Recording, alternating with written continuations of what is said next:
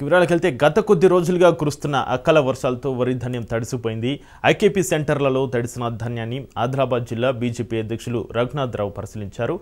దండపల్లి మండలంలోని వరి ధాన్యం కొనుగోలు కేంద్రాన్ని ఆయన సందర్శించారు. అధికార పార్టీ నాయకులు రైస్ మిల్లర్లు కుమ్మక్కి రైతులు మోసం చేస్తున్నారని ఆరోపించారు. తాలు తరుగు పేరుతో క్వింటాకు ఐదు నుంచి ఎనిమిది కిలోలు కోత విధిస్తున్నారని ఆగ్రహం వ్యక్తం చేశారు. కొనుగోలు కేంద్రాల వద్ద గన్ని బ్యాగులు లేక రైతులు అవస్థలు పడుతున్నారని ఇప్పటికైనా ప్రభుత్వం స్పందించి రైతులకు ఎలాంటి షరతులు లేకుండా మద్దతు ధర చెల్లించి రైతుల వద్ద నుంచి ధాన్యం కొనుగోలు చేయాలని డిమాండ్ చేశారు. మండలంలో ఒక దీనాతి దీనంగా ఉన్నది.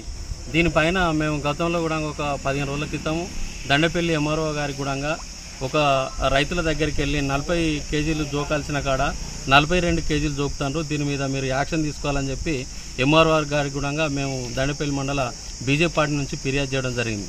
దానిపైన ఎంఆర్ఓఆర్ గారు కానీ కానీ దానికి సంబంధిత అధికారులు కానీ ఇదివరకు ఎలాంటి చర్యలు కూడా తీసుకోలేదు. ఇప్పుడు అది పోని రైతులందరూ కూడా పోతే పోని ఇలా కిలో పోతే పోని అని చెప్పి ముందుకొచ్చినప్పుడు కూడా ఇలా జోకిన బస్తాలు ఎక్కడి ఎక్కడైనా నిల్వ ఉండిపోయినాయి. ఇలా లారీలు రావడం లేదు అయింటి తీసుకుపోయేది లేదు. ఎందుకంటే మబ్బులు వస్తే కింద సెదలొస్తుంది సెదలొచ్చిన తర్వాత సంచులు ఖరాబ్ అవుతున్నాయి మళ్ళీ వాటిని మళ్ళీ బస్తాలను నింపుకునే పరిస్థితి వచ్చింది. ఇలా లారీ రావాలంటే ఒక్కొక్క లారీకి బస్తకు రెండు రూపాయల నుంచి మూడు రూపాయలు వసూలు చేసి ఇస్తే తప్ప లారీలు వచ్చే పరిస్థితి లేదు. ఈ అంతా ఈ దోపకం ఎట్లా జరుగుతుంది? దీనికి కట్టడి చేయాల్సిన ఎవరు? మన స్థానిక ఎమ్మెల్యే ఎవరైతే ఉన్నారో ఏదైతే ఆగమేఘాల మీద వచ్చి ఈ సెంటర్లను ఏదైతే ఓపెన్ చేస్తున్నాడో వీటిని కూడా మళ్ళీ అబ్జర్వ్ చేయాల్సిన అవసరం కూడా ఆయనకు ఉంది కదా. మళ్ళీ ఎప్పుడు ఎక్కడ ఏం జరుగుతుంది రైతులకి పరిస్థితి ఉన్నది వాళ్ళ ప్రాబ్లమ్స్ ఏముందని కూడా చూసుకోవాల్సిన బాధ్యత మన స్థానిక ఎమ్మెల్యే పైన ఉంది కదా.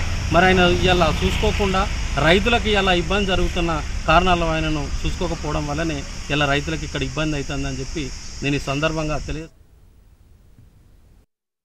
వెంకటాపూర్ గ్రామంలో ఈ వడ్లు ఇక్కడ పోసి ఇరవై ఐదు రోజులు అయిందట ఇరవై ఐదు రోజుల నుంచి ఇక్కడికి వచ్చి తీసుకుపోయే నాదుడు లేడు. ఇక్కడ పోసి దీనివల్ల ఏమవుతుందంటే రైతుల మీద ఒత్తిడి తీసుకొస్తారు ఇరవై ఐదు రోజులైంది నేను ఇక్కడ ఓసి పెట్టుకున్నాడు. ఇక్కడికి ఒక లారీ వస్తలేదు. ఇక్కడ నుంచి తీసుకుపోయిన వడ్లు కూడా అక్కడ రైస్ మిల్ల దగ్గర లారీల నుంచి దించుకుంటలేరు రైతుల మీద ఒత్తిడి తెచ్చి ఈ వడ్లు ఏవైతే ఇత్తనం వడ్ల క్వాలిటీ ఉన్న ఈ వడ్లల్లో కూడా ప్రతి బస్తాకు నలభై రెండు కిలోలు జోకుతారు అంటే క్వింటాల్కి ఐదు కిలోలు ఐదు శాతం కమిషన్ కొడుతున్నారు రైతు కష్టపడి సంపాదించిన ధాన్యంలో ఐదు శాతం కమిషన్ల పేర్ల మీద ఇక్కడ అధికార పార్టీ నాయకులు రైస్ మిల్లర్లు కుమ్మక్కై ఫైవ్ పర్సెంట్ కమిషన్ కొడుతున్నారు ఇంత మంచి క్వాలిటీ వడ్లు. మళ్ళీ పోనీ కనీసం లారీలను పంపించి ఇరవై ఐదు రోజులైంది. మనం రెండు మూడు రోజుల నుంచి చూస్తున్నాం. రోజు మబ్బు వస్తుంది వర్షం ఎప్పుడు వస్తుందా అని రైతులు ఒకవైపు ఆందోళన చెందుతున్నారు.